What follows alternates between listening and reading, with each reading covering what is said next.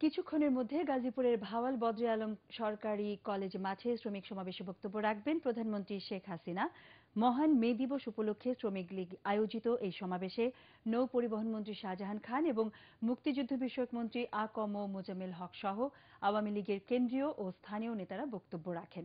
প্রধানমন্ত্রীর মঞ্চে আসার আগেই সমাবেশস্থলে জনস্রোত তৈরি হয়। সমাবেশকে ঘিরে সেখানে নেওয়া হয়েছে বিশেষ ধরনের নিরাপত্তা ব্যবস্থা।